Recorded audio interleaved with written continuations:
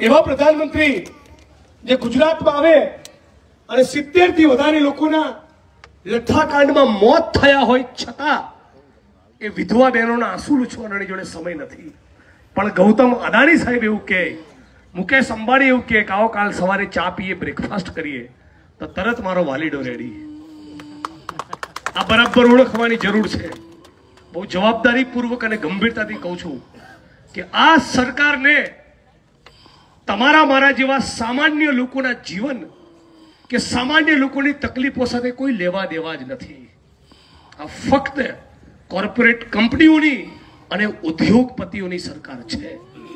મોરબીના કાંડ માટે જવાબદાર કંપનીનું ના એફઆઈઆરમાં નામ, ના એની કોઈ ધરપકડ, ના એની સામે કોઈ તપાસ. એટલે ગુજરાતની અંદર મને લાગે છે કે લોકોએ જરા ખોખારો ખાવાની જરૂર છે. વડગામ તો આપણું રેડી છે. વડગામ મજબૂત છે. વડગામમાં વાંધો નહીં આવે. પણ આપ તમામને કહું છું, તમારા ઓળખીતા, તમારા સગા સંબંધી બાજુમાં ખેરાલુમાં હોય, સતલાસણામાં હોય, સિદ્ધપુરમાં હોય વાવથરા દિશામાં હોય, તો એમને પણ ફોન કરીને કહેજો કે બે હજાર બાવીસ, હવે તો કોંગ્રેસ લાવીશ. આજે બેરોજગારી એની ચરમસીમા ઉપર મોંઘવારી એની ચમર- ચરમસીમા ઉપર મારી આંખ સામે આટલી બધી બહેનો અને માતાઓ બેઠી છે. તેલનો ડબ્બો મોંઘો, ગેસનો બાટલો મોંઘો, પેટ્રોલ, ડીઝલ મોંઘું, કરિયાણું મોંઘું, ભાડા મોંઘા. આ સામાન્ય લોકોનું ઘર પરિવાર ચલાવવું અત્યંત મુશ્કેલ બની ગયું છે. પણ ભારતીય જનતા પાર્ટીની સરકાર કે એના નેતાઓને તમારા જીવન તમારી તકલીફ સાથે કોઈ લેવા દેવા નથી. તમે બે સેકન્ડ માટે જિગ્નેશભાઈને ભૂલી જાઓ. બે સેકન્ડ માટે ભૂલી જાઓ કે જિગ્નેશભાઈ ઉમેદવાર છે. હવે તમારા આત્માને પૂછો કે આ ચૂંટણી તો પંદર વીસ દિવસમાં પતી જશે. પણ જો ભાજપની સરકાર ઘર ભેગી ના થઈ, તો તમે મને જવાબ આપો કે તમારો તેલનો ડબ્બો ને ગેસનો બાટલો સસ્તા થવાના કે મોંઘા થવાના? શું થવાનું? એક વર્ષ પહેલા જે મોંઘવારી હતી, એના કરતા મોંઘવારી ઘટી કે વધી અવાજ બરાબર નથી આવતો. એક વર્ષ પહેલા જે મોંઘવારી હતી, એના કરતા મોંઘવારી ઘટી કે વધી? એક વર્ષ પછી, જો ભાજપને ઘર ભેગું નહીં કરો, તો મોંઘવારી ઘટવાની કે વધવાની? તેલના ડબ્બા સસ્તા થશે કે મોંઘા? ગેસના બાટલા સસ્તા થવાના કે મોંઘા? પેટ્રોલ, ડીઝલના ભાવ વધવાના કે નહીં? તો આ તમામ પરિસ્થિતિ આપણે બધા વાકેફ છે. મારે ખરું કહું, તો કંઈ કહેવાની જરૂર નથી. આપણે બધા જ જાણીએ છીએ કે ભારતીય જનતા પાર્ટીના શાસનમાં પથારી ફરી ગઈ છે. એ દલિત હોય, એ કૌળી પટેલ હોય, એ ઠાકોર હોય, એ દેવી પૂજક હોય, એ રાવણ હોય, એ માજી રાણા હોય, આદિવાસી હોય, આ મજૂર વર્ગનો એકડો ફસાઈ ગયો એકડો. આપણને સાફ કરી નાખ્યા.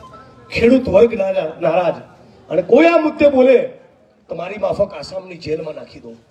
પ્રધાનજી ઠાકોર વાવ થરાદના ઠાકોર સમાજના આગેવાન મજબૂત લડનારો માણસ ગરીબ બેન દીકરીઓ વિધવા ના થાય એના માટે એમણે દારૂના અડ્ડા ઉપર રેડ કરી. કે દારૂબંધી કરો. શું કર્યું? એની ઉપર દારૂ વેચવાનો ખોટો કેસ કર્યો. આ સરકારને તમે વિચારો. ગુજરાતમાં તોફાનો થયેલા હિંમતનગરમાં, ખંભાતમાં, વેરાવળમાં, મેં ટ્વીટ કર્યું સોશિયલ મીડિયામાં કે માનનીય પ્રધાનમંત્રી, તમે મહાત્માનું મંદિર તો બનાવ્યું છે, પણ ગુજરાત આવો તો જરા શાંતિ અને ભાઈચારાની અપીલ કરજો. મહાત્માનું મંદિર બનાવનારા જોડે આટલી અપેક્ષા તો રાખીએ ને કે લોકોને શાંતિ જાળવવાનું કે શાંતિ જાળવવાની અપીલ તો ના કરી.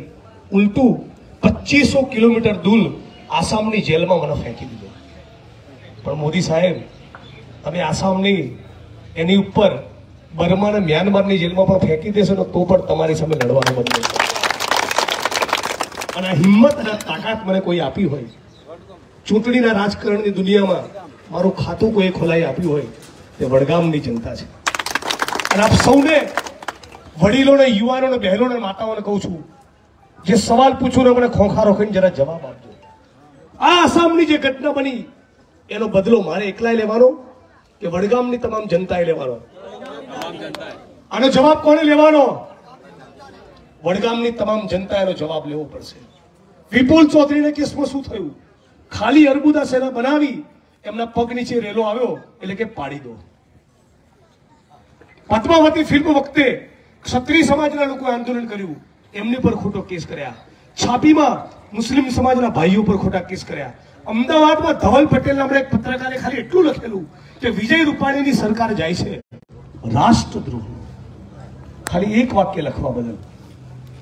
અને આ એ લોકો છે જેમણે બાવન વર્ષ સુધી આપણા રાષ્ટ્રધ્વજનું તિરંગાનું સન્માન કર્યું નથી.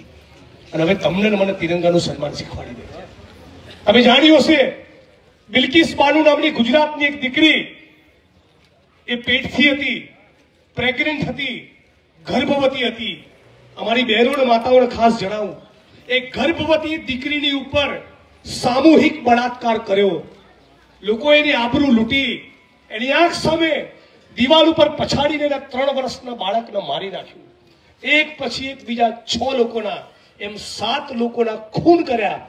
આખો કેસ સર્વોચ્ચ અદાલત સુધી, ભારતની મોટામાં મોટી સુપ્રીમ કોર્ટ ઓફ ઇન્ડિયા સુધી કેસ પહોંચ્યો. સુપ્રીમ કોર્ટે જજમેન્ટમાં લખ્યું, ચુકાદો આપ્યો કે આ હત્યારા બળાત્કારીઓને જેલમાં રાખવા, ત્યાં સુધી, જ્યાં સુધી છેલ્લો શ્વાસ ના લે.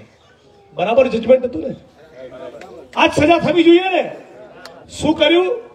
મોદી સાહેબની ગુજરાતની ભાજપ સરકારે શું કર્યું? આ તમામ બળાત્કારીઓને છોડી મૂક્યા. જેલમાં છોડી મૂક્યા બાદ એમને સાલ ઉઠાડી, ફૂલોની માળા પહેરાવી, મીઠાઈના ડબ્બા ખોલ્યા, મીઠાઈ ખવડાવી, સ્વાગત સન્માન કર્યું, ફૂલ તોરા કર્યા, અબીલ ગુલાલ ઉડાડ્યા, ઢોલ વગાડ્યા અને મીઠાઈ ખવડાવીને એવું કીધું કે આ બળાત્કારીઓના સંસ્કાર સારા હતા એટલા માટે જેલમાંથી છોડ્યા છે.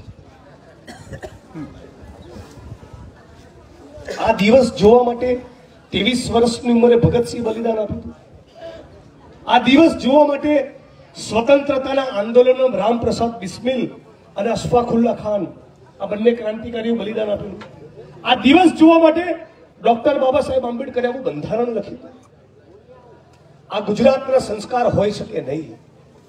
અમારા અને મારા ઘરમાં પણ બેન દીકરીઓ છે. એવી તાકાત, એવી હિંમત અને એવી ખુમારી બતાવવી પડે કે ભારતીય જનતા પાર્ટીના લોકો આપણા વિસ્તારમાં, આપણા મોહલ્લામાં પગ મૂકતા પહેલા દસ વખત વિચાર કરવા કોઈ એમને બોલનારું નથી. એમાં ક્યાંક ને ક્યાંક વાક આપણો પણ છે. બળાત્કારીઓને ગુજરાતમાં છોડી દેવામાં આવે. ખુલ્લેઆમ એમને છોડી એનું સન્માન કરવામાં આવે. અને ચાર જણા ભાજપને સવાલ પૂછનારા ના હોય, તો ક્યાંક વાક આપણો પણ ખરો કે નહીં? ક્યાંક જવાબદારી આપણી પણ લેવી પડશે? લેવી પડશે કે નહીં યુવાનો? ગુજરાતની અંદર એક નહીં, બે નહીં, ચૌદ, પંદર જેટલા પરીક્ષાના પેપરો લીક થયા. કોઈ આશા વર્કર કે આંગણવાડીની બહેન પેટે પાટા બાંધીને, કોઈ ખેડૂત દેવું કરીને પોતાના દીકરી કે દીકરાને ભણાવીને સપનું જોવે કે મારો દીકરો કે દીકરી આઈએસ બનશે કે આઈપીએસ બનશે? મામલતદાર બનશે, પ્રાંત અધિકારી બનશે, તલાટી બનશે, શિક્ષક બનશે, પીએસઆઈ બનશે, કારકુન બનશે. એક પછી એક, બાર પંદર પરીક્ષાના પેપર લીક થયા. પણ હજી સુધી નરેન્દ્રભાઈ ગુજરાત આવીને એવું નથી કહેતા ખાલી કડક તપાસ કરવામાં આવશે આ ગુજરાત, આ સૌનો સાથ, સૌનો વિકાસ, આ ગુજરાતની સરકારની સંવેદનશીલતા. આજે તમને બહુ દુઃખ સાથે કહેવું પડે છે. કે ગુજરાતની અંદર ગૌતમ અદાણીના મુદ્રા બોર્ડની ઉપર બે લાખ કરોડનું ડ્રગ્સ પકડાયું. કેટલા રૂપિયાનું? બધા મને જવાબ આપો. કેટલા રૂપિયાનું ડ્રગ્સ પકડાયું? બે લાખ કરોડનું ડ્રગ્સ. બે લાખ કરોડના નશીલા પદાર્થો ગુજરાતની ધરતી ઉપર આવે. એની તપાસ કરવાના બદલે, એના કસૂરવારોને જેલમાં નાખવાના બદલે ગુજરાતની ભાજપ સરકાર ગુજરાતના મુખ્યમંત્રી કે દેશના પ્રધાનમંત્રી યુવાનોને એટલી અપીલ કરવા તૈયાર નથી કે આ ભાઈ નશાની ચુંગાલમાં ના ફસાતા. આ વ્યસનો ના કરતા. બે લાખ કરોડનું ડ્રગ્સ કોને કહેવાય? અને એવા ખતરનાક કેમિકલના ડ્રગ્સ ચાર દિવસ તમે આનું સેવન કરો.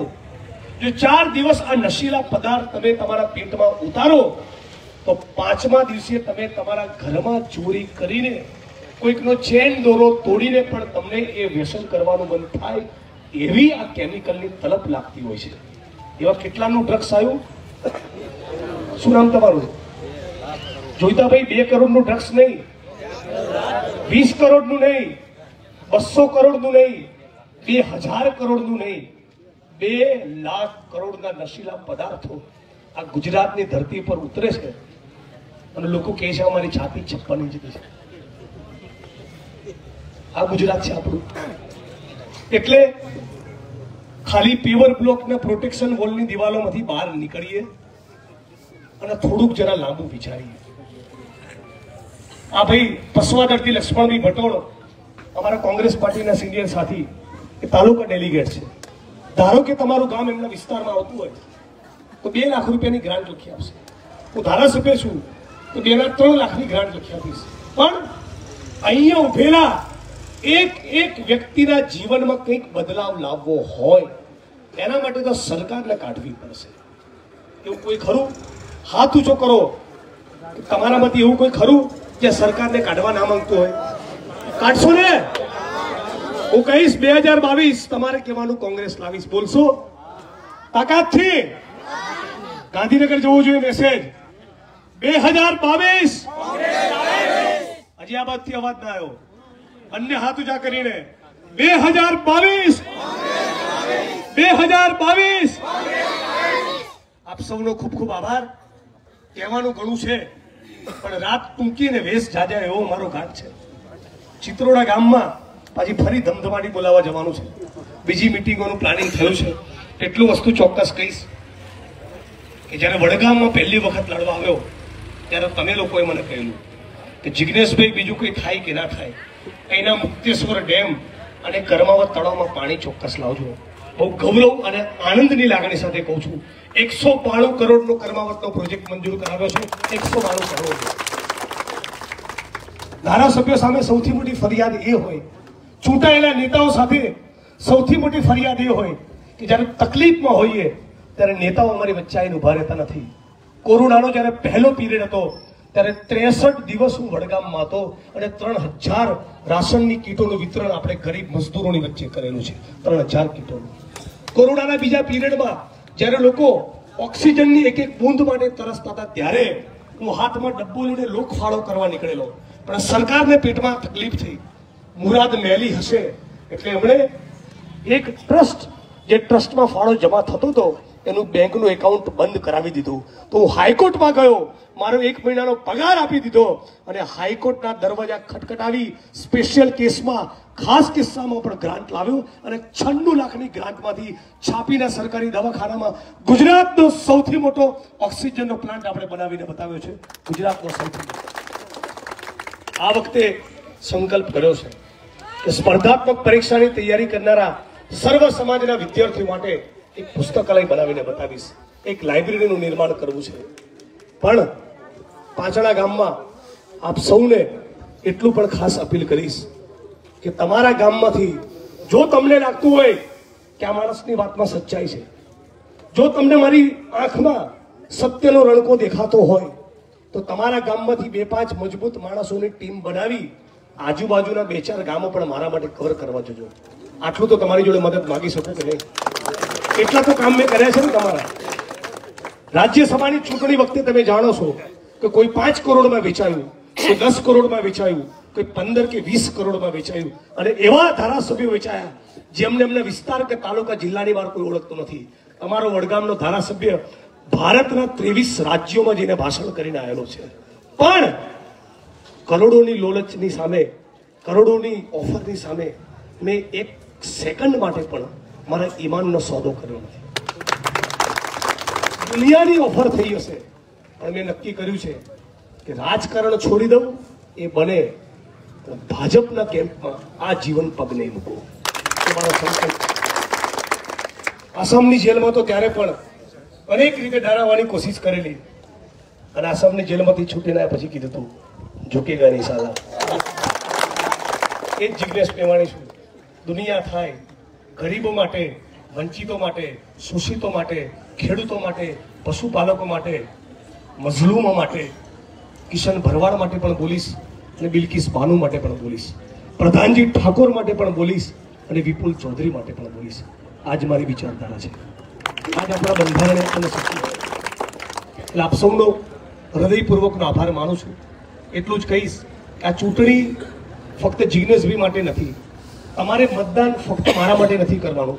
તમારે આ ચૂંટણીમાં વોટિંગ મતદાન તમારા પોતાના જીવન માટે કરવાનું. છે જો ભાજપની સરકાર ના ગઈ, તો અગિયારસો રૂપિયાનો તેલ આપણો ગેસનો ડબ્બો, ગેસની બોટલ એ બે હજાર રૂપિયામાં થવાની જ છે. એ વાત તમે સમજી લેજો. અને છેલ્લે એટલું કહીશ કે અગિયારસો રૂપિયામાં જો ગેસનો બાટલો જોઈતો હોય, જો અગિયારસો રૂપિયામાં ગેસનો બાટલો જોઈતો હોય, તો ભાજપને વોટ આપજો. પણ રાહુલ ગાંધી આપેલા વચન પ્રમાણે જો પાંચસો રૂપિયામાં ગેસની બોટલ જોઈતી હોય, તો કોંગ્રેસ પાર્ટીને વોટ આપજો ઉદ્યોગપતિઓના દેવા માફ કરવા હોય, તો ભાજપને વોટ આપજો. અને ખેડૂતોના દેવા માફ કરવા હોય, તો કોંગ્રેસ પાર્ટીને વોટ આપજો. આપ સૌ સમજદાર છો, મારા મત વિસ્તારના મારા ભાઈ બહેનો છે. મારું જીવન કાયમ તમારા માટે ઋણી રહેશે. મેં કીધું એ પ્રમાણે દુનિયામાં જવું રાજનીતિના સર્વોચ્ચ સોપાનો સર કરવું કે રાજનીતિમાં શૂન્ય થવું એ બધી પરિસ્થિતિમાં હું વડગામને છોડવાનો નથી, હું વડગામને ભૂલવાનો નથી. કેમ કે કોઈ માણસ બારમામાં નેવું ટકા લાવે, તેનો બાયોડેટા બને. એમ મારા બાયોડેટામાં પણ, મારા રાજકીય બાયોડેટામાં પણ ટોપનું નામ વડગામનું રહેશે. કે જિગ્નેશ મેવાણીને ભલે આખું ગુજરાત ઓળખતું હતું, ભલે આખો દેશ ઓળખતો હતો જિજ્ઞેશ મેવાણીને ધારાસભ્ય કોઈએ બનાવ્યો, તો પાંચડાના બધાઓએ બનાવ્યો. વડગામની જનતાએ બનાવ્યો. એટલે આપ સૌનો ખૂબ ખૂબ આભાર માનીશ. વધુ સમય ફાળવી નહીં શકો તો માફ કરજો. બીજા કામો પણ કવર કરવાના છે. એટલે આપ સૌની અમે બધા જ રજા માગીએ છીએ. કોંગ્રેસ પાર્ટીનું આખું નેતૃત્વ તમારી સાથે છે. પાંચડાના વિકાસનું કોઈ પણ કામ હોય તો અડધી રાતે મને યાદ કરજો. પૂરેપૂરો મારો પ્રયત્ન રહેશે. પણ પાંચડા નહીં. તમારા કોઈ સગાવાલા સુરેન્દ્રનગરમાં પણ કોઈ તકલીફમાં હોય ભરૂચમાં કોઈ તકલીફમાં હોય, કચ્છના અબડાસા કે નખત્રાણામાં તકલીફમાં હોય, તો પણ જિજ્ઞેશભાઈને યાદ કરજો. આવીને ઊભો રહીશ ખૂબ ખૂબ આભાર. આપ સૌનો ખૂબ ખૂબ આભાર. મારી સાથે બે નાના લગાવજો. હું ફરી કહીશ કે બે હજાર બાવીસ તમારે કહેવાનું છે કોંગ્રેસ લાવીશ. અને બીજો નારો કે કોંગ્રેસનું કામ બોલે છે. ગામે ગામ બોલે છે. વાત સાચી છે ને? આવી અનેક પાણીની ટાંકીઓ કે પહેલી વખત વડગામના ગામોમાં કોંગ્રેસ પાર્ટી બનાવેલી છે. વડગામ તાલુકાનું પહેલું પોલીસ સ્ટેશન કે પહેલી પોલીસ ચોકી. એ કોણે બનાવી? કોંગ્રેસ પાર્ટીએ. દાંતીવાડાનો ડેમ કોણે બનાવ્યો? મુક્તેશ્વરનો ડેમ કોણે બનાવ્યો?